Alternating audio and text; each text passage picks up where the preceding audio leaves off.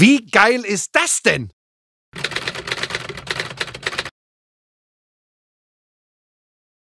Entweder da oder, oder da. Hast du auch schon guck mal hier. Lachen darfst du auch. Verstehe kein. Oi, oi, oi, oi. Gucken uns schon wieder alle an, als wären wir völlig Mischugge. Wahnsinn. Hier ist wirklich eine unglaubliche Atmosphäre hier. Sensationell.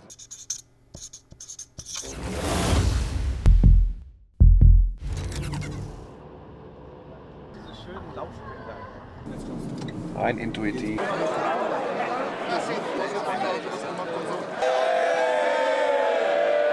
So, Freunde, jetzt ist es also soweit. Jetzt stürzen wir uns gleich da rein. Alles Atletico-Fans hier vor dem Estadio Calderon, vor dem Champions League-Spiel Atletico gegen Real Madrid. Er weiß genau.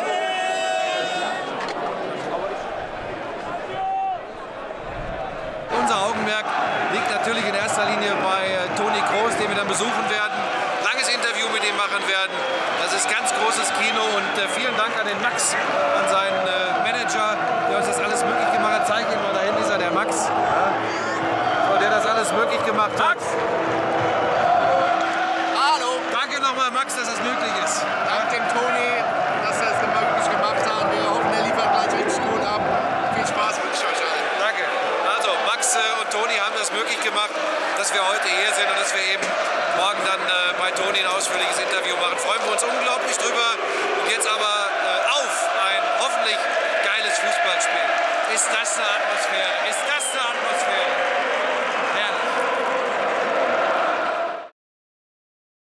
Que es el mejor Groß ist unsere beste hacer. Verpflichtung. Los geht's Madrid, großer Toni. Na klar, Toni Kroos, der ist der Beste. Toni Kroos, wie immer, relativ unauffällig, wenig Fehler, hat das Ganze in Ruhe geregelt und äh, freut sich jetzt schon wie Bolle auf das Gespräch, das wir mit ihm führen werden.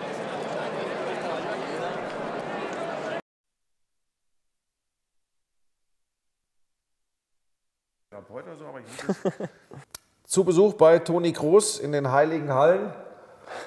Bisschen klein ist hier. Ja, bisschen klein ist mir hier. leid. Das ist ja nicht äh, selbstverständlich. Ich weiß nicht, wie oft äh, hast du Presseleute hier?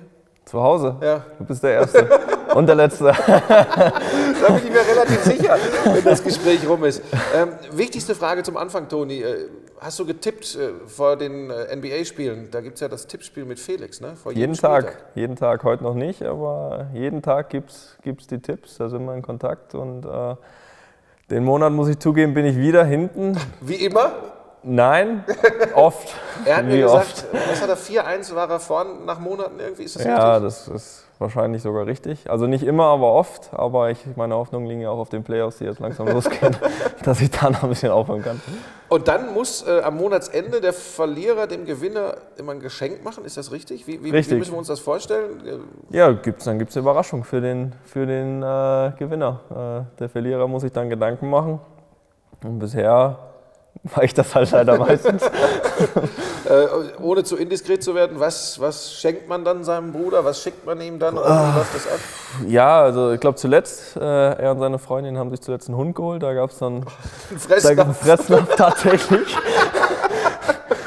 Mit dem Namen drauf, den ich dann auch halb ausgesucht habe, das war dann geklärt. Und ähm, dann gab es auch mal eine so eine Dennis-Ausstattung mit Mütze und so weiter. Also bisher war ich immer recht kreativ, aber ich hoffe halt, dass sich das Blatt auch irgendwann mal wendet.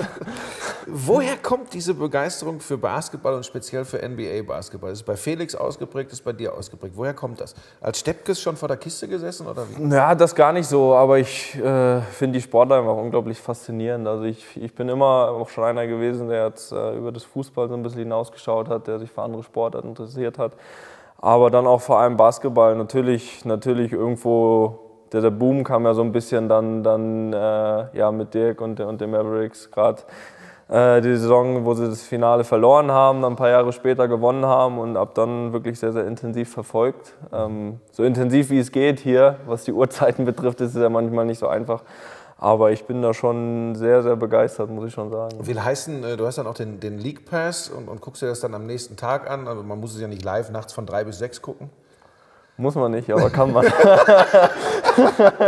Passiert Nein, das, ich bin das da- passiert tatsächlich. Ja, das passiert, weil äh, also ich bin, ich bin mittlerweile wirklich so, also in der Saison geht's, aber Aber gerade bei den Playoffs, also wenn ich weiß, da läuft das Spiel von drei bis sechs, dann schlafe ich auch nicht ein. Also, dann, also ich weiß, wenn, wenn, die, wenn die Mavs da wirklich ein wichtiges Spiel haben, dann, dann bin ich eh schon unruhig und dann ist wirklich besser für mich, ich gucke und schlafe danach ruhig als, als äh, nächsten Tag. Das kann ich eh nicht dann irgendwie gucken, obwohl ich weiß, wie sie gespielt haben oder erst gar nicht gucken, wie sie gespielt haben.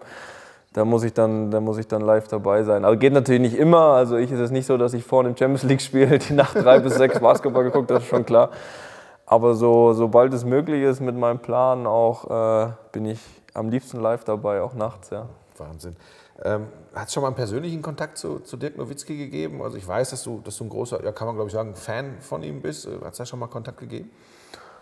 Ähm, also direkten Kontakt gab es jetzt noch nicht. Wir hatten schon mal so über, über auch da Twitter und so weiter mal so ein bisschen, so ein bisschen Kontakt, aber jetzt diesen großen persönlichen gab es noch nicht. Ähm, was ich mir aber auch natürlich schwer vorstelle. Ich glaube, man kennt seinen Plan. Die Saison ist brutal und, und dann, dann natürlich auch Urlaub. Und dann, wenn er Urlaub hat, spielen wir dann auf einmal unsere Turniere EM, WM. Ähm, von daher ist es ein bisschen, ein bisschen schwierig. Vielleicht kriegt man das mal irgendwann mal hin, äh, wenn es der Zufall will. Aber ich glaube, das ist auch gar nicht das, sage ich mal, wo ich, wo ich nachstrebe. Ich finde einfach faszinierend, ihm zuzugucken bei dem, was er macht. Ich finde äh, ihn als Persönlichkeit sehr, sehr faszinierend, absolutes Vorbild und, und ähm, freue mich natürlich, wenn ich ihn vielleicht irgendwann mal, irgendwann mal kennenlerne, aber, aber ähm, finde das schon aus der Distanz äh, sehr beeindruckend. Ist er vielleicht für viele Fußball-Superstars auch ein Vorbild in der Außendarstellung? Ich finde ja unglaublich faszinierend, wie er mit Fans vor allem umgeht. Also keine Spur von Allüren oder so. Nimmt man sich so jemanden dann, wie die, wie die Amerikaner es nennen, auch als Role Model, dass man sagt, da kann man sich was abgucken, weil ich meine, ihr habt ja auch viel Trubel immer um euch rum. Ja, absolut. Also man muss immer so ein bisschen unterscheiden, das ist, das ist meine Meinung. Natürlich finde ich es wichtig, dass man die Fans mit ins Boot holt und das macht er, macht er super, so wie man, so wie man das sieht. Äh, dass auch er wahrscheinlich nicht jeden Tag Lust hat, äh, am besten noch nach einem verlorenen Spiel äh, 1000 Autogramme zu geben, das ist auch normal. Das müssen dann auch mal die Fans verstehen. Also das, ist ja mal so ein Wechselspiel, aber ich finde es schon wichtig, dass man, dass man die Fans äh, mit ins Boot holt und, und einfach, einfach auch in gewissen Sachen da ist für sie und das macht er natürlich überragend und da können sich, glaube ich, viele eine Scheibe abschneiden. Umgang mit den Medien ist bei ihm auch so ein Thema. Er stellt sich immer, es ist noch ein bisschen anders als bei euch in der Fußballnationalmannschaft, wenn die Basketballer spielen, gibt es immer einen Interviewwunsch aller Journalisten. Das ist immer Dirk Nowitzki, bringt mir den Dirk, ist so immer die, die meistgestellte Frage. Ähm, er macht das auch nicht immer gerne, das weiß ich äh, sehr gut. Aber er stellt sich immer, wie ist, das, wie ist das für euch, Umgang oder für dich jetzt im Speziellen, Umgang mit Journalisten? Ähm, eher so eine lästige Pflichtaufgabe oder hat man auch mal Spaß dran? Ähm, teils, teils. Da muss man, muss man ehrlich sein. Natürlich auf der einen Seite die gibt es gewisse Sachen, die einfach zur Pflicht gehören, sage ich mal, wenn es manchmal auch Pressekonferenzen gibt oder so, wo man einfach sich auch äußern muss zu gewissen Spielen. Das ist jetzt dann einfach auch mal Pflicht, aber es gibt auch so Sachen, die, die man gerne macht. Man kennt ja auch dann, äh, man lernt die Leute kennen, auch, auch die Journalisten teilweise und da gibt es halt auch zwischendurch welche, wo man es wirklich gerne macht oder Termine, auf denen man sich freut, wie zum Beispiel, darf ich sagen heute? Das nehme ich, nehme, ich, nehme ich gerne zur Kenntnis. Ähm, wie gesagt, nochmal, es ist für uns auch was Besonderes, dass wir, dass wir heute hier sein dürfen. Ich habe mich ja auch informiert über dich vorher, wen, wen ich mir hier ins Haus hole, von daher, von daher alles gut. Ähm, kommen wir mal auf so ein paar etwas vielleicht heiklere Dinge zu sprechen. Ähm, es gab auch Leute, als ich gesagt habe, ich Hast du eigentlich gar keinen Zettel dabei? Du nee, abliest? Hast du alles im Kopf? Wir machen das so. Ja, machen das so. Äh, schön, dass du nachfragst. ähm, haben viele gesagt, oh, ist das nicht so ein Phlegmatiker? Das, ich habe das immer wieder gehört, dass Leute gesagt haben, ach, sei mir jetzt nicht böse, ja? der ist doch ein bisschen langweilig, der ist doch dröge, äh, kriegt er die Zähne überhaupt auseinander? Wo kommt das her, dass die Leute das von dir denken?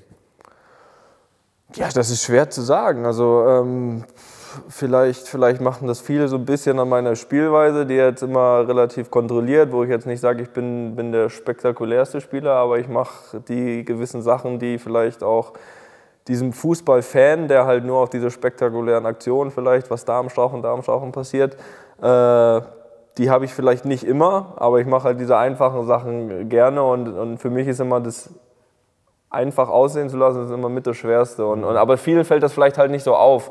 Deswegen bist du vielleicht nicht so direkt im Mittelpunkt bei denen. Aber warum äh, transportieren sie das auch auf dein Wesen? Weil viele haben auch gesagt, ja, aber dann ist der das ist doch so ein ganz ruhiger und, und Wie, wie? Ja, weil es halt vielleicht nicht diese, diese riesen Schlagzeilen über mich gibt, wo, wo irgendwelche, irgendwelche Sachen passieren im Privatleben oder sonst was. Ich bin halt äh, eher ein Typ, der auch nicht alles gerne nach außen trägt, sondern der, der am liebsten zu Hause ist und nicht noch irgendwo loszieht. Äh, ich habe ich hab, äh, meine Familie zu Hause, wenn ich da bin, fühle ich mich am wohlsten und äh, es ist auch in erster Linie für mich nicht, nicht entscheidend, was dann andere irgendwie, irgendwie groß darüber denken. Aber ich glaube, alle, die mich wirklich kennen, die wissen mich einzuschätzen und die wissen auch, dass ich ja, schon noch die Zähne auseinanderkriege. Wie gut kennt dich dein Bruder Felix? Glaube ich am besten von allen, würde ich einfach mal sagen. Jetzt meine, meine Freundin ausgenommen. Weil äh, ich habe mir ja von ihm gleich einen abgeholt, als ich ihm die Frage gestellt habe, wie es denn ist im, im Schatten des Bruders, habe ich gleich links und rechts einen bekommen.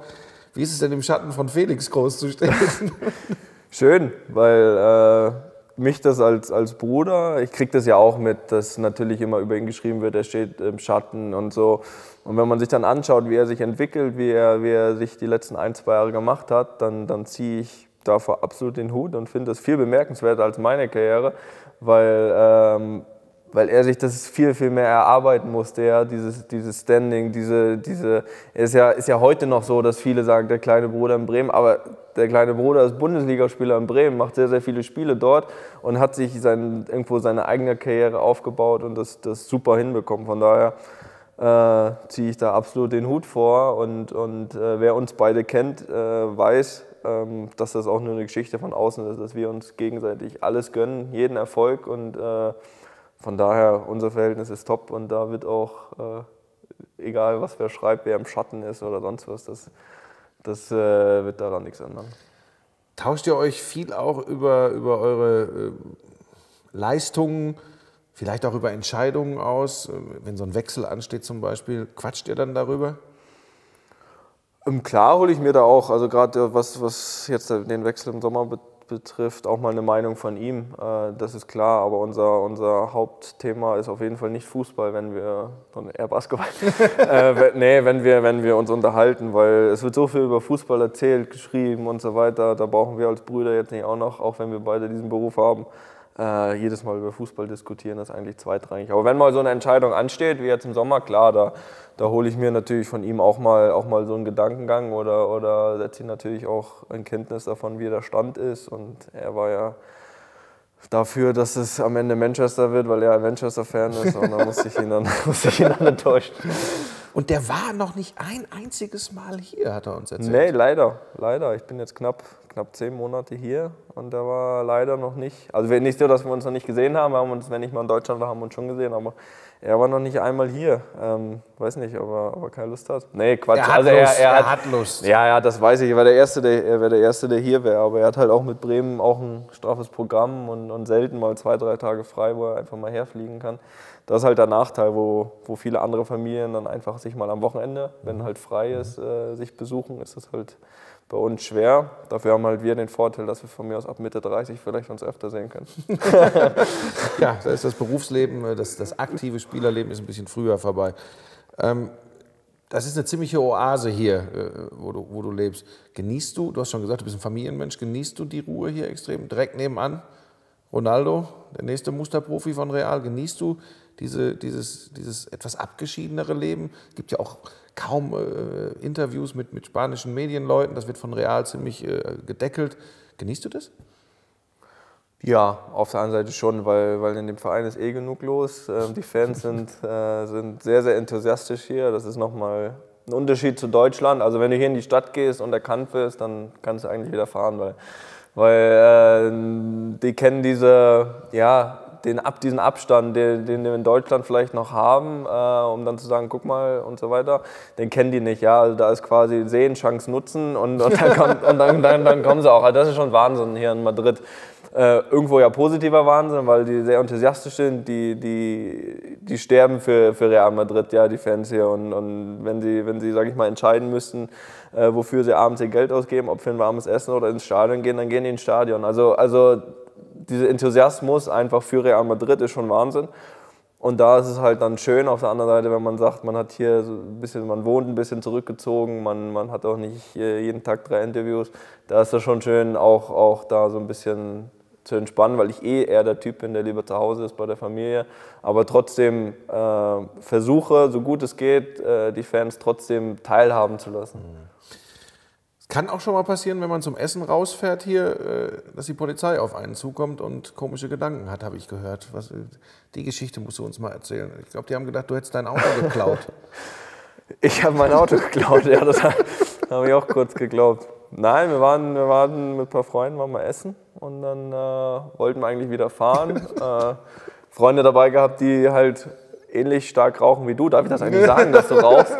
Also ich habe gehört, ich habe gehört, dass vereinzelt hat der, hat der Max verraten. Ja, also die haben. Also du, ich habe gehört, dass du ab und zu eine ja, rauchst, ja, weil ja. du auch ab und zu nervös bist, dann gerade bei Fußballspielen, vor, vor, vor Fuß, ja, vor, ne? oder bei Fußballspielen und so weiter. Ähm, und da waren wir, waren wir wie gesagt essen abends. Freunde haben noch eine geraucht. Wir standen halt im Auto mit offenen Türen und Vielleicht sah es ein bisschen verdächtig aus, ich weiß es nicht. Jedenfalls äh, hat die Polizei dann angehalten und ähm, war dann aber relativ schnell wieder besänftigt, als sie den Führerschein gesehen haben. Aber nicht vor Führerscheinzeigen erkannt?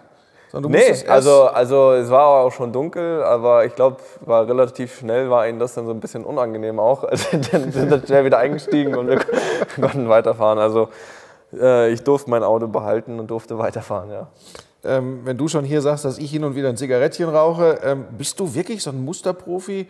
Ähm, extrem auf die Ernährung achten, extrem auf Regeneration achten. Ist dir das? Jetzt wird man sagen, ja, das ist doch für einen Leistungssportler normal, aber es wird immer wieder erwähnt, dass es bei dir schon echt krass ist. Nee. Fehlinformation. Ja, allein, allein, schon, wenn ich von, von nachts zwei bis fünf NBA gucke, das hat dann mit Musterprofi nichts zu tun. Nein, also also ich tue schon sehr, sehr viel dafür, dass ich, dass ich bei dem Rhythmus, ich glaube, die Saison war wieder Wahnsinn mit der, mit der WM, äh, alle Spiele, dann wenig Urlaub und dann von Anfang an wieder hier alle Spiele. Also das, das geht nicht, wenn du lebst wie, ja. wie weiß ich. ich. Also, ja. Nein, das geht nicht. Also es ist schon wichtig, dass du, dass du auf viele Sachen achtest, aber ich würde nicht von mir behaupten, dass ich dass ich äh, der bin, der sich am besten ernährt von allen Profis. Äh, also das wäre eine Lüge. Der, also ich genieße mein Leben auch. Mhm. Das, ähm, das, das gebe ich auch ganz offen und ehrlich zu. Aber wenn es dann an die Spiele geht, dann, dann ist es schon wichtig, dass man einigermaßen vernünftig lebt, auch, auch dann genügend schläft ab und zu, ähm, und, um, um dann fit zu sein. Das, das geht gar nicht anders bei dem Rhythmus. Aber trotzdem würde ich nicht sagen, dass ich diese absolute Musterprobe bin, dass ich alle, alles von mir abschauen soll, das besser nicht. In welche Richtung geht das jetzt? Wegen der, wegen der Schlaferei nur? Oder? Ja, klar. Also ich gebe ja zu, dass ich ab und zu, ab und zu nachts die Spiele schaue. Aber ich habe ja auch gerade gesagt, ich kann sonst eh nicht schlafen, wenn ich, wenn ich das spiele. ähm, aber eben Richtung Spiele schon, schon äh, absolut auch konzentriert bin und, und mich da gut vorbereite. Also das auf jeden Fall. Von dem Nachbarn sagen das auch alle, dass das so ein Musterprofi ist. Ich will jetzt gar nicht zu viel über Cristiano Ronaldo sprechen, da wirst du oft drauf angesprochen. Aber da als jemand, der dicht dran ist, äh, ist das wirklich so ein Wahnsinniger als erster zum Training, als letzter weg und, und immer extrem fokussiert? Ist er schon, ja. Ist er schon, muss man, muss man wirklich sagen. Also wenn er jetzt noch seine Party so ein bisschen besser legen würde, dann wäre das, wär das natürlich ideal. Nein, also er ist schon, schon dass er da wirklich jeden Tag an sich arbeitet, will jedes Trainingsspiel gewinnen. Ist, ist heiß auf Tore. Ich glaube, anders geht es auch nicht, sonst erreichst du diese Quoten nicht neben der Qualität, die er hat, ähm, ohne diese Einstellung, glaube ich, auch so eine Parallele, ähm, wenn, man, wenn man den Film auch da vom Nowitzki gesehen hat, ja, dieses Talent und das alles, das ist alles schön und gut, aber diesen Willen an sich zu arbeiten, diese, dieses Talent äh, zu was ganz Großem zu machen und ich glaube, das hat er und, und anders erreichst du, erreichst du diese Quoten, die er, die er hat, einfach auch nicht. Du hast gesagt, Zeitpunkt der Partys ging, glaube ich, um seine Geburtstagsparty. Du warst nicht da, ist das richtig? Weil Richtig. du gesagt hast, Zeitpunkt passte einfach nicht. Hat er dir das übel genommen? Nein, ach Quatsch. Er hat, äh, er hat mich eingeladen zwei Tage vorher und ich habe ihm da schon gesagt, äh, du weißt schon, dass wir, dass wir vorher das Spiel gegen Atletico kam. Das wird kein einfaches Spiel. Vielleicht hättest du es lieber nach einem Heimspiel gegen Getafe gelegt. Aber ähm, und an diesem Tag sollten wir dann tatsächlich 4-0 verlieren. Und da fand ich das für mich, äh, also ich, ich, ich bin jetzt auch nicht so, dass ich sage, er hätte jetzt diese Party absagen sollen. Ich glaube, es ist schwierig, wenn du eine Party hast mit äh, 300 geladenen Gästen, eine Geburtstagsparty, die dann zwei Stunden vorher abzusagen. Sollen wohl auch wirklich viele Kinder eingeladen gewesen sein und wenn er dann nicht kommt oder das absagt, auch nicht. Aber ich habe halt für mich entschieden, dass ich sage, äh, ich gehe da nicht hin, weil der Zeitpunkt jetzt nicht passt und man sich ja zumindest, wenn man ein, zwei Schritte weiter gedacht hat, gerade hier in Spanien denken konnte, dass das jetzt auch nicht intern bleibt ähm, und, und darüber natürlich auch. Von daher habe ich für mich einfach gesagt, pass auf, das passt an dem Abend äh, nicht, nach einem 0-4 gegen den Stadtrivalen äh, und was draus gemacht werden kann. Von daher. Aber ich finde es jetzt auch nicht dramatisch, dass diese Party stattgefunden hat, das auch nicht. Wir haben schon darüber gesprochen, dass du äh, großer Fan von Dirk Nowitzki bist. Du bist auch ein Tennismaniac. Wenn man äh, Twitter verfolgt, kommt da auch immer Dass wieder... ich überhaupt hier gerade spreche. Ich glaube, der Roger spielt gerade in Monaco. ja, ja, ja, ist Monte Carlo gerade, ne? Ja. ja erste, erste Sandplatzturnier. Ähm, Federer ist auch jemand, der dich fasziniert. Ne? Also das, das bekommt man auch mit. Wimbledon-Finale hast du dir auch schon mal gegeben. Woher auch noch diese Begeisterung für Tennis oder Sportmaniac? Ähm, ja, Tennis und Basketball, das sind so außer, außer Fußball meine absoluten meine Sportarten. Man macht das ja manchmal auch einfach an Personen fest, die man dieser mag, die einen faszinieren. Und da würde ich halt einfach äh, Roger ganz klar, ganz klar nennen, weil er ähm, auch nicht nur als Spieler, sondern auch als Persönlichkeit mhm. mir, mir unglaublich, mich unglaublich fasziniert, unglaublich einfach auch bodenständig äh, rüberkommt. Ich meine, ein paar Turnierchen hat er gewonnen, glaube ich. Ja. Und, und wie er da ähm, ich glaube, für mich ist er, ist er der, der, Beste aller Zeiten oder zumindest den Besten, den, den ich gesehen habe. Ich kann mir nicht vorstellen, dass, da, dass es da nochmal äh, eine Steigerung geben wird, aber dann trotzdem so zu bleiben, auch immer noch, ich glaube, er ist jetzt 33, diese Motivation zu haben, zu jedem diese Turniere zu fahren und gewinnen zu wollen und, und ihm das auch anzumerken, finde ich absolut, absolut beeindruckend. Und nebendran natürlich, wie er so ein Tennisspiel interpretiert mit einer gewissen, gewissen Eleganz ja, und alles. spielt so schön, ne? Spielt so schön. Wenn ich das mit Djokovic ja. oder Nadal vergleiche, ist es schöner, oder? Es ist viel schöner und das mag ich auch. Ich mag auch gern schön Fußball spielen, dann mag ich auch schön, äh, schön Tennis sehen. Nein, alles sieht, sieht unglaublich aus, wie er Tennis spielt und, und einfach dieses, dieses, wie er immer noch Lust hat, Spaß dran hat, wie man, wie man das merkt und nach wie vor auch gewinnen will. Ähm, nach allem, was er erreicht hat, da muss ich schon sagen, richtig gut. An einem Tag zur gleichen Zeit Roger Federer nochmal im Wimbledon-Finale, egal gegen wen. Dirk Nowitzki nochmal im NBA-Finale, Spiel 7. Gegen Atlanta mit Dennis Schröder, sagen wir jetzt mal. Ich habe für beides Karten und lade dich ein. Wo gehen wir hin? Am besten wir teilen uns auf. Na, ich glaube, da ich, da ich äh, glücklicherweise ähm, das Wimbledon-Finale von Roger gegen Murray äh, live gesehen habe, zwei Plätze hinter hinter Prince William ähm, und das einmal live hatte, glaube ich, würde ich, würde ich in dem Fall äh, zur NBA gehen, denke ich. Aber auch nur, weil ich das andere schon hatte und ihm da live und er gewonnen hat und alles super war, äh, würde ich, glaube ich, äh, in dem Fall äh, zu Dallas gehen.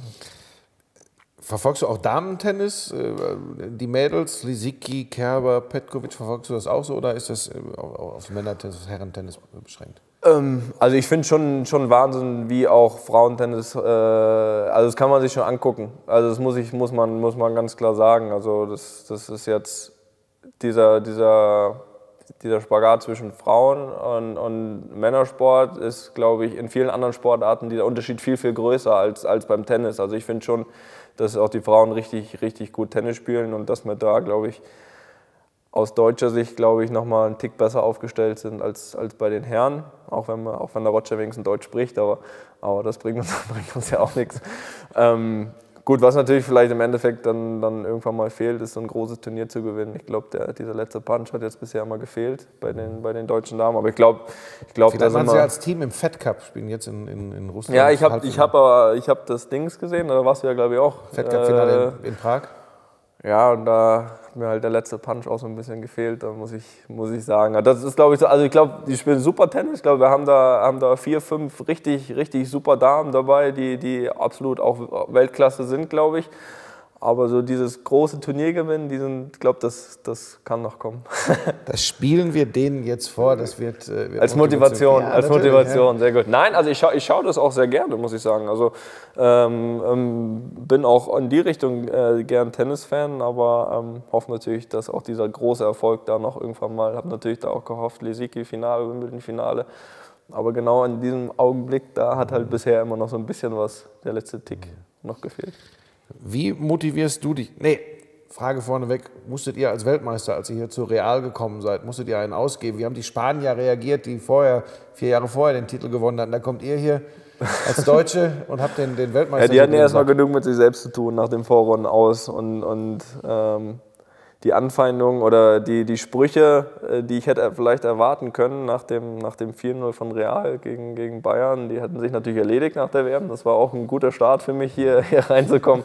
Ähm, von daher war es, äh, eigentlich, eigentlich recht harmlos. Aber sie haben immer schon, äh, auch gesagt, immer schon riesen Respekt vor Deutschland gehabt. Also wie, wie sich auch der deutsche Fußball entwickelt hat. Und auch gerade nach der WM war natürlich äh, ein guter Einstieg auch für mich, hierher zu kommen. Ja, die Spanier äh, waren noch nicht so begeistert von der WM, hatten, waren noch schon zwei Wochen im Training, weil die ja schon ein bisschen früher mhm. ne, und so weiter.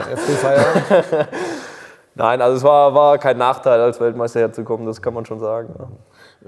Merkt man dann, dass das äh, wirklich noch, noch eine Spur mehr Respekt einem entgegenbringt? Also jetzt gar nicht von den Fans, von den Journalisten, wirklich mannschaftsintern, dass sie sagen, ja Mensch, geile WM hat der Kerl gespielt. Ja, also ich glaube, es ist immer, ich glaube, ich hatte ich hatte sowieso einen kleinen Vorteil, weil ich eh schon von einem großen Verein gekommen bin. Also, also Bayern München, glaube ich, ist ja sportlich gesehen auch absolut auf, auf Augenhöhe mit, mit Real Madrid und, und von daher wussten die schon, dass da einer kommt, der ein bisschen kicken kann. Das, das glaube ich, war denen schon bewusst. Ähm, aber natürlich ist es vielleicht vom, vom Ansehen, vom, vom, und wenn so das Unterbewusstsein ist, wenn man einfach reinkommt in die Kabine, du kommst als Weltmeister, äh, das gibt dir A, eine gewisse Ruhe, ein gewisses Selbstvertrauen, aber eben auch die neuen Teamkollegen wissen schon, dass, äh, dass wir da keinen Blinden verpflichtet haben. Wie gehst du mit Erfolgen um? Sonst du dich, feierst dich selbst oder hakst du sowas relativ schnell ab? ich glaube, man muss einen ganz guten Mix finden. Auf der einen Seite geht es halt bei uns relativ schnell weiter, dann einfach immer. Nach einem kurzen Urlaub geht es dann zu Real Madrid, da hast, du die neuen, da hast du die neuen Herausforderungen und so weiter. Aber ich glaube, wir sollten trotzdem nicht vergessen, auch gewisse Sachen zu feiern. Und was sollte man feiern, wenn kein WM-Titel? Also wir haben das schon gefeiert. Ich habe da auch schon im Urlaub, haben wir das schon auch gefeiert, äh, ausgiebig. Und ich denke, das sollte man, auch, sollte man auch tun, weil irgendwann, ich kann, ich kann nicht auf Knopfdruck sagen, so in zehn Jahren feiere ich jetzt den WM-Titel nach, weil dann meine Karriere vorbei ist. Ähm, das ist dann eine schöne Erinnerung und das wird auch immer bleiben, aber man muss den Moment dann, glaube ich, auch, auch genießen und das habe ich auch, getan. Sei dir gegönnt. Hast du noch viel Kontakt zu, zu alten Spätzeln aus, aus der alten Heimat? Gibt es das noch oder ist sowas unmöglich? Welche alte Heimat meinst du? Ja, gehen wir mal, gehen wir mal Richtung, Richtung äh, Rostock, gehen wir mal in, in die Richtung. Gibt es da noch irgendwelche Kontakte persönlicher, privater Natur? Ähm, also jetzt zu ehemaligen Spielern und so eigentlich wirklich ganz wenig. Ich habe meine Eltern noch dort, die noch in Rostock sind. Mein Vater trainiert die A-Jugend noch dort. Ähm, also ist schon noch ein bisschen was geblieben. Äh, der Verein hat jetzt leider keine so so herausragende Entwicklung genommen. Ähm, wenn wir dann weitergehen, Kontakte nach Leverkusen zum Beispiel, gibt es noch einige. Also aus meiner, Zeit, aus meiner Zeit dort, wo ich mich auch sehr, sehr wohl gefühlt habe. Äh, und auch heute haben wir noch, äh, ist unser, also sage ich mal, wenn wir in Madrid äh, wenn wir nach Deutschland fliegen, dann fliegen wir immer nach Köln und nicht nach München, weil Köln eigentlich damals so immer unser, unser äh, haben wir uns sehr, sehr wohl gefühlt, immer so unser, haben wir direkt irgendwie zu Hause gefühlt. Äh, so das diese ist eine Mentalitätsfrage, dass das, das vielleicht Vielleicht, vielleicht, vielleicht kommt mir der Schlag als äh, so ein Tick eher entgegen, weiß ich nicht, als, als der Münchner, aber, aber wir haben lustigerweise über die, über die anderthalb Jahre in Köln viel, viel mehr Kontakte, Freundschaften geknüpft als über die fünf, sechs Jahre in München. Also es soll jetzt nichts gegen München heißen, aber es war halt einfach so. Mhm. Und deswegen haben wir überlegt, okay, was haben wir jetzt als Anlaufpunkt in Deutschland, äh, wenn wir jetzt in Madrid sind. Und ähm, da war auch ganz klar die Bedingung von meiner Freundin, wenn wir hier nach Madrid gehen, dann will sie auf jeden Fall, dass wir ein Haus in Köln haben und den Wunsch habe ich hier erfüllt. Das, das, das, das, ist ganz spannend. Ist, ist das die, die Mentalität? Weil das ist ja spannend. Anderthalb Jahre Leverkusen, fünf, sechs Jahre Bayern. Ist das irgendwie zu erklären? Schwierig. Ich, ich glaube, es war damals, damals war es für uns ein Vorteil, weil ich nach Leverkusen bin und es war eine sehr junge Mannschaft. Sprich auch oft sehr junge Partnerin.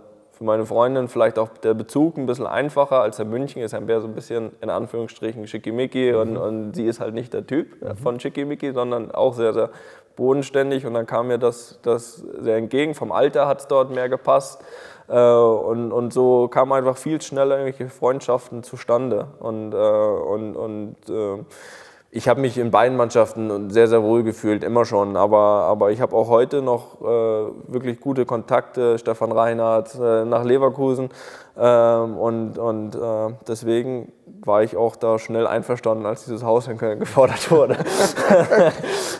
Kurz nochmal zu Rostock. Hansa hat, hat keine leichte Zeit. Da gab es ja jetzt auch dieses ja, Benefizspiel zugunsten des Vereins zwischen äh, Paul Beinlich und äh, mit seiner Mannschaft gegen Material, mhm. Musiker und seine Mannschaft. Verfolgst du das noch, was, was sich bei Hansa tut, wie die, wie die sich entwickeln, dass sie wieder auf die Beine kommen, wirtschaftlich vor allem? Ja, also ich, ich verfolge schon, klar. Also ich meine, sie waren unglaublich lange, lange Jahre Erstliges, ich glaube zehn Jahre am Stück. Das, das ist vielleicht auch keine Normalität mit den Möglichkeiten, die da waren. Da waren sie, waren sie abgestiegen und, und dann ging es eigentlich wirklich äh, bergab und, und viel wurde dort gewechselt. Ich glaube, sie hatten jedes Jahr drei neue Vorstände und zwei neue Trainer. Ich glaube, die zahlen sie heute noch. Und, und so geht es halt dann immer bergab, wenn du eh schon wenig Möglichkeiten hast. Du hast ein Erstligastadion damals gebaut, das ist unglaublich teuer, sage ich mal. du spielst aber dritte Liga. So, also mhm. das, das passt einfach nicht. Und, und, und dann hast du handelnde Personen, die vielleicht von der ganzen von der ganzen Angelegenheit auch nicht, nicht den besten Plan haben. Und, ähm, also ich verfolge das schon noch, kriege natürlich einiges oder so ein bisschen, bisschen von meinem Vater auch mit, der in dem Verein noch, noch sehr aktiv ist. Hat der mal gesagt, Mensch, Toni, kannst du nicht helfen? Ja, was soll ich da machen? Nach Rostock wechseln? nee. nee, ich meine, ich mein, wie soll ich helfen? Ich meine, wenn man, wenn man ganz ehrlich ist, wenn man es realistisch sieht, damals für meinen Wechsel äh, mit 16 von, von München, nee, von Rostock nach München hat der Verein knapp über eine Million bekommen für den 16-Jährigen. Plus ein Freundschaftsspiel von Bayern war das Stadion voll. Für meinen Wechsel jetzt äh, von, von München nach Madrid ist ja das immer noch so geregelt, dass ich sage, ich will nicht, lass mich nicht lügen, aber hat der Verein noch mal knapp 200.000 Euro bekommen. Ähm, ja, was soll ich noch machen? Nee, das war ja wieder weiter wechseln. Nein, aber, aber da fragt man sich natürlich auch irgendwo, zumindest aus der Ferne. Ich bin, ich bin in dem Verein absolut nicht mehr, nicht mehr drin. Ich bin auch nicht, nicht, nicht äh, so gut informiert. Mich interessiert es aus der Ferne. Und sie haben sich jetzt sportlich so ein bisschen berappelt. Das ist zumindest lange, sah ja lange jetzt auch aus, dass sie sogar aus der dritten Liga absteigen. Aber jetzt, jetzt haben sie wirklich ein paar Punkte geholt. Aber das ist für mich schwierig zu greifen, manchmal auch, was da, was da passiert aus der Ferne. Aber ich frage mich dann trotzdem manchmal, wie sie mit, teilweise mit finanziellen Sachen umgehen dort oder wo, wo das Geld bleibt. Äh, natürlich helfe ich gerne und ich weiß auch, ich hatte eine schöne Zeit dort. Ich war vier Jahre dort, konnte mich dort gut entwickeln. Ähm, aber trotzdem ist es mir dann halt manchmal so ein bisschen fremd, wenn viele sagen, ja, warum hilft er denn seinem Verein nicht? Der Verein hat ihm so viel gegeben das stimmt, ich habe mich dort wohlgefühlt, aber die vier Jahre, die ich dort war, davon hat mich dreieinhalb oder drei Jahre mein eigener Vater trainiert und der hat mir viel gegeben. Also das hätte er mir auch äh, auf einem anderen Trainingsplatz wahrscheinlich gegeben. Also ich fühle mich schon noch so ein bisschen verbunden, aber eben nicht so, dass ich sage, ich bin jetzt der, der den Verein wieder aufpeppen muss. Das, das, das stimmt einfach auch nicht, weil da ist viel zu wenig Verbindung. Also mein Vater trainiert die A-Jugend, das war es an Verbindung zu Hansa Rostock. Ja, ist ja ganz gut, wenn man das mal erzählen kann. Ja, es ist auch so. ähm, Rostock, Leverkusen, Bayern, Real Madrid und dann? Schluss. Schluss. Nein, ähm, es ist ja, ich meine, es ist, ist so eine allgemeine Floskel und die wollte ich eigentlich in so einem netten Gespräch wie hier äh, eigentlich gar nicht. Aber Dann du drück's, weißt. Drück's anders ich aus. Ich drück's anders aus. Ähm, oder hau erstmal die Floskel raus und ich überleg hau die, währenddessen... Ja, ja, alles klar, so machen wir es. Also, man weiß im Fußball nie, wie, lange man, wie lange man wo ist. Und gerade bei Vereinen wie bei München, Real Madrid, ähm, geht es halt, geht's halt oft schnell. Nein, ähm, ich habe hier für sechs Jahre unterschrieben. Das habe ich nicht einfach mal so aus Lust und Laune gemacht, mhm. sondern schon, äh, habe mir das schon überlegt, auch, auch die Dauer. Äh, wenn dieser Vertrag ausläuft, bin ich 30, bin jetzt 25, hört sich noch so ein bisschen langfristig gedacht an, aber ähm, ich habe schon den Plan, länger hier zu sein. Mhm. Ähm, ich würde das jetzt nicht unterschreiben, weil es kann immer viel passieren, das ist einfach so. Aber ähm, ich, ich habe sechs Jahre hier unterschrieben, das heißt jetzt ab Sommer noch fünf. Und äh, Stand jetzt habe ich das absolut vor, hier eine lange Zeit zu bleiben, weil ich glaube, dass diese, wenn dann geht es ja darum, wenn du von Bayern zu Real Madrid wechselst, geht es ja eigentlich darum, was anderes zu machen. Ähm, du bist, du bist, sage ich mal, sportlich äh, glücklicherweise schon oben angekommen. Ob du jetzt bei Bayern, Real Madrid, Barcelona spielst, äh, das ist, das ist ein, ein Level in meinen Augen. Ich wollte einfach was anderes machen und auch, darum, auch nur darum wird es dann wieder gehen, wenn man jetzt irgendwann äh, überlegt, äh, von Real Madrid wegzugehen, dann wird es auch nur wieder darum gehen, man will nochmal was anderes machen, was anderes erleben, vielleicht nochmal ein anderes Land. Aber das ist halt aktuell ähm, nicht der Fall und ich habe wirklich bewusst lange hier unterschrieben. Wie muss ich mir vorstellen, wie, wie kommt so eine Entscheidung dann zustande, wenn man sagt, okay, ich meine, das Angebot von Bayern war sicherlich auch nicht schlecht. Ähm, mit dem Berater, mit der Freundin, mit der Familie, wie muss ich mir das vorstellen? Ja, also ich kann da natürlich nur für mich sprechen. Bei mir war es recht einfach, weil ich A, eine Freundin habe, die gesagt hat, du machst das, ich gehe überall hin mit dir, wo, mhm. wo, wo es hingeht. Das macht es einem natürlich schon einfach, weil es gibt wahrscheinlich auch Beispiele, die sagen, oh, ich will unbedingt hier bleiben oder, oder ich will unbedingt dahin. Also das macht es natürlich ein bisschen schwieriger. Ähm, Berater eigentlich das Gleiche. Ähm, wir hatten von Anfang an eine ganz klar, ganz aber da klare. spielt doch auch das eine Rolle. Also, natürlich, aber ob du jetzt wieder bei Wechseln. Äh ja, aber du kriegst ja auch, das ist ja auch bekannt als Berater, auch gute Provisionen, wenn du bei einem Verein wie Bayern längerfristig verlängerst. Also da, auch da äh, wird man durchkommen irgendwie. Also, äh, nein, also auch, auch von der Seite ganz klar, pass auf das, was du willst. Wir können, natürlich, Berater hat die Aufgabe, dir die, die, die und die Option zu geben, aber entschieden habe am Ende ich. Natürlich könnte mir, kann man mir eine Empfehlung geben, aber am Ende war es, war es meine Entscheidung und wir hatten eine gemeinsame Strategie. Wir haben, wir haben äh, Bayern einfach unsere Forderung gesagt, von Anfang an. Die hat sich nicht verändert, von Anfang an. Ähm, das war, sagen wir mal, Winter, Winter, also ein halbes Jahr vor der WM quasi Winter. Und wir haben einfach gesagt, so und so, und dabei bleiben wir. Das war war bestimmt selbstbewusst, so wie ich auch bin, aber auch mit einer gesunden Selbsteinschätzung. Ich war, ich war absolut Stammspieler bei Bayern. Der Trainer äh, hat mich immer spielen lassen, war, war ein Fan und ich fand das einfach äh, oder fand das absolut gerechtfertigt. Und wir haben nie einfach unsere Meinung verlassen, sind dabei geblieben und haben uns halt am Ende der Tage nicht geeinigt. Und deswegen gab es dann die, die, die Option. Real Madrid war dann für mich vom, vom Gesamtpaket die beste Option und dann ging das Gott sei Dank recht schnell. Ich hatte ja nur noch ein Jahr Vertrag, das heißt, Bayern hat dann auch äh, im Endeffekt die letzte Möglichkeit gehabt, Geld, Ablöse, Ablöse zu, zu bekommen. Und ähm, von daher ging das dann recht schnell und, und konnte nach der WM hier alles, alles fertig machen. Ich will äh, nicht olle Kamellen ausgraben, aber da interessiert mich noch eins, weil ich nie gele die Gelegenheit hatte, dich äh, da persönlich zuzufragen. War es so ein bisschen eine Frage der Wertschätzung, dass du vielleicht gedacht hast, vielleicht werde ich hier nicht so gewertschätzt äh, bei den Bayern? Ähm, Hierarchie, ähm, das meine ich so damit. Kommt ja, kommt ja immer darauf an, von wem. Also ich, ich, ich hatte die absolute Wertschätzung vom Trainer, ich hatte die absolute Wertschätzung von Matthias Sammer, mit dem ich äh, unglaublich lange schon, schon zusammengearbeitet habe, das über den Bayern-Zeitraum hinaus. Ähm, das wusste ich, aber Jetzt die zwei alleine konnten mir, äh, es ist immer eine gesamte Entscheidung, ein gesamter Verein. Und, und, natürlich spiegelt sich so eine Wertschätzung auch in einem Angebot, ist ja ganz klar. Aber nicht nur, das will ich auch, äh, das will ich auch äh, klarstellen. Ähm, und die war vielleicht, äh, vielleicht war ich damit nicht immer zufrieden. Allerdings war ich mit meinem Stand als Spieler dort sehr, sehr zufrieden. Weil für mich als Spieler ist am wichtigsten, was denkt der Trainer über mich. Mit dem hatte ich ein super Verhältnis. Wir haben gleich gedacht, was, was die Idee, wie spiele ich Fußball betrifft. Das hat absolut gepasst. Aber, aber ähm, es ist halt für mich schwierig, sage ich mal, einen langfristigen Vertrag zu unterschreiben, nur aufgrund eines Trainers, der eine Halbwertszeit hat. Heutzutage braucht man nicht länger von vielleicht sehr lange, aber vielleicht auch sehr kurz. Und von daher ähm, war das zwar schön zu wissen, aber trotzdem im Gesamtpaket war dann für mich die Entscheidung, ich, ich möchte wechseln. Und dann gab es die eine oder andere Option. Jetzt hat sich was getan in der Bundesliga. Trainerkarussell hat sich gedreht. Ähm, HSV, Traditionsclub. Fast mehr Trainer als Punkte, sagen Spötter. Ähm, jetzt kommt Bruno Labbadia nochmal für die Schlussphase der Saison, nachdem es vorher immer hieß, es könnte Tuchel werden.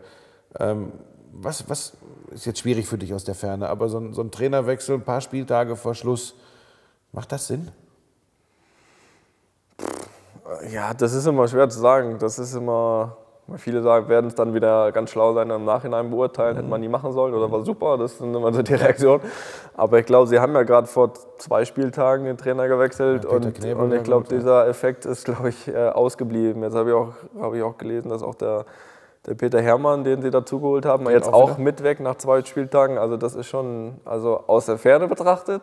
Und wenn man jetzt nur liest äh, und nicht im Verein ist, ist es schon äh, sehr chaotisch, was, was in Hamburg los ist. Ich glaube, wenn man mit Hamburg, mit dieser Stadt, mit diesem Verein ähm, und sie haben ja die letzten zwei, drei Jahre schon so eine Vorwarnung bekommen, was passieren kann. Also ich glaube, sie waren immer unten dabei die letzten Jahre und dann jetzt momentan sind, noch nicht, sind natürlich noch nicht weg, dazu sind noch ein paar Spieltage, aber letzter ist, muss schon einiges, einiges schief laufen. Und ob das jetzt die, die absolute Lösung ist, äh, wird sich zeigen. Ein schelmisches Grenzen. Und dann der Hammer, Jürgen Klopp bittet um Vertragsauflösung zum Ende der Saison bei Borussia Dortmund. Da kommen jetzt auch einige und sagen, ja, habe ich mir schon gedacht. Das war ja eine schwierige Saison für Borussia Dortmund. Wie siehst du das? Äh, muss man nicht auch durch so, eine, durch so eine Phase mal durch und dann mit dem gleich, gut, der Verein hätte es ja gewollt, aber auch der Trainer dann sagen, okay, jetzt fange ich nochmal noch, neu an. Auch da weiß ich, es ist schwierig von draußen äh, zu beurteilen, aber hat dich, sagen wir es mal so, hat es dich auch überrascht? Also überrascht hat es mich, ja, weil, weil ähm, sich der jetzt für mich nicht hundertprozentig äh, angedeutet hat, weil er immer den Eindruck gemacht hat, noch sehr, sehr kämpferisch zu sein und so weiter. Was er jetzt, glaube ich, auch dann noch ist bis zum Dings. Aber ich glaube, er hat auch irgendwann mal gesagt, ähm, wenn, wenn er das Gefühl hat, äh, nicht mehr so hundertprozentig äh, mit Ja beantworten zu können, dass er der richtige Trainer ist oder, oder dann, dann, dann lässt das. Und ich glaube, wenn das jetzt halt so ist, dann, dann zeugt es auch von einer gewissen Größe, einfach zu sagen, pass auf, äh, das war es von mir aus. Ich glaube, der Verein hätte ihn, hätte ihn glaube ich, gerne behalten, so wie tippe ich jetzt einfach mal.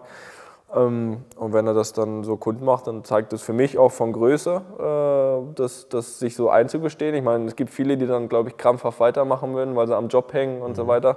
Aber ich glaube, er hat dann doch einfach gesagt, durch, er war sehr, sehr lange dort, ich glaube, er hat mit Dortmund alles erreicht. Viel mehr kann man mit Dortmund nicht erreichen. Und wenn er dann jetzt selbst das Gefühl hat, nach der langen Zeit, das, das, das war es jetzt, dann finde ich das auch absolut in Ordnung und muss ich auch sagen, Chapeau, dass er dann von sich aus sagt, ähm, ähm, am Ende der Saison ist Schluss. Wie findest du ihn so als Typen? Du hast jetzt äh, Trainer wie Pep Guardiola, Ancelotti. Ich glaube, ist ein etwas anderer Typ, ja, so von der, von der Außendarstellung auch. Ist es trotzdem einer, der dir der dir nah ist, so vom, vom Wesen?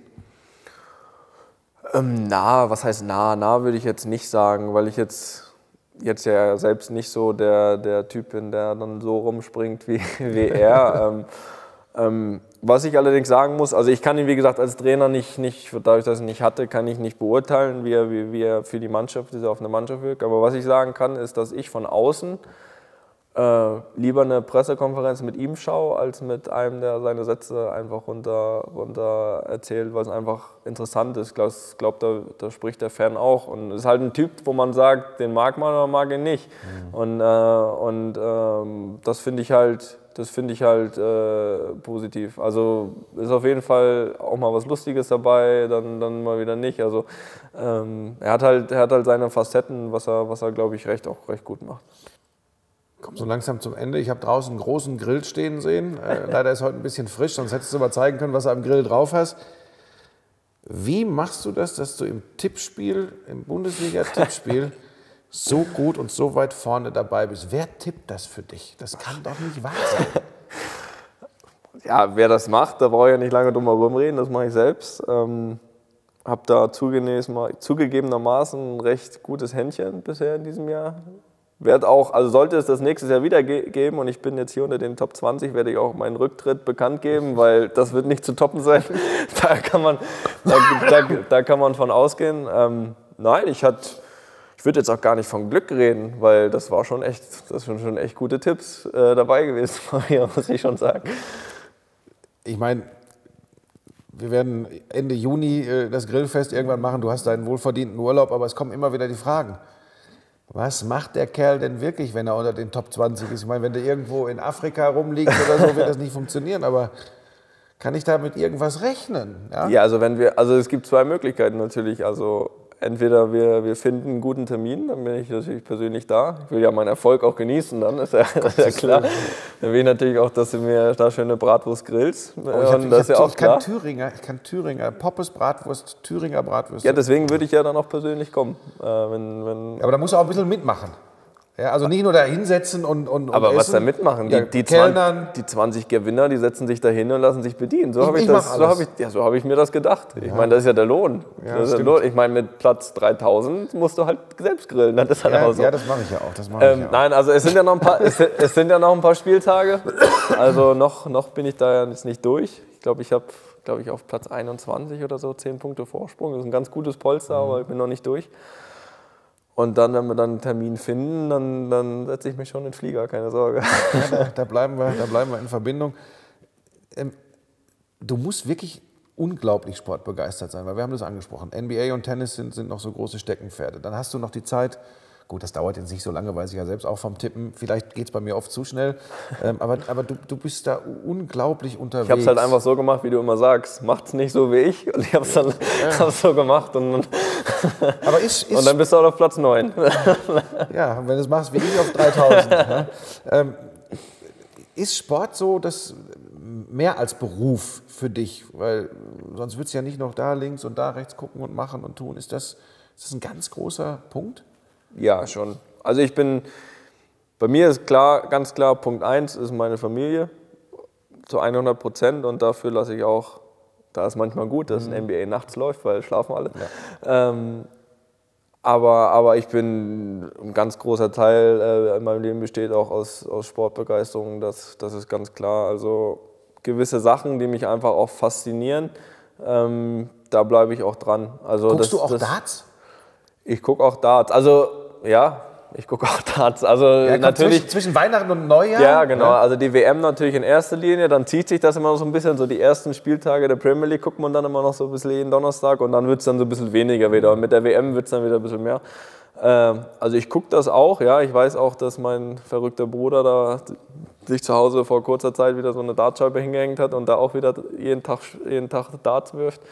Ähm, aber das ist dann halt so ein Teil im Jahr. Also jetzt sage ich mal, dieses Basketball, Tennis, das, das, das ist schon konstanter dann. Also das sind dann so meine Sportarten. Ich bin dann auch jetzt nicht so, dass ich alles gucke. Ich bin jetzt nicht ganz so verrückt wie du, dass ich dann auch noch äh, da gucke und da. Also ich spezialisiere schon auf, auf Basketball, Tennis, aber es läuft ja von denen auch genug.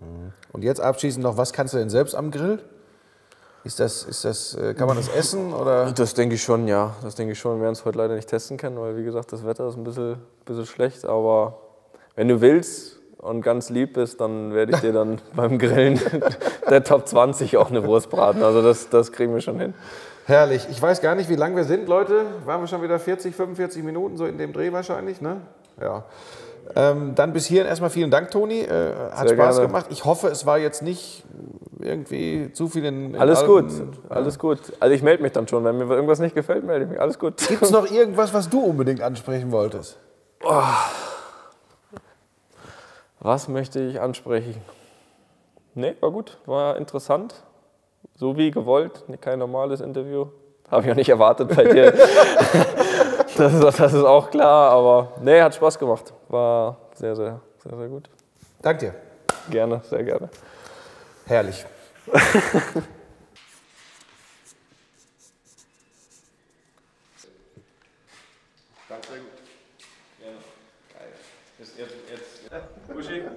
gut.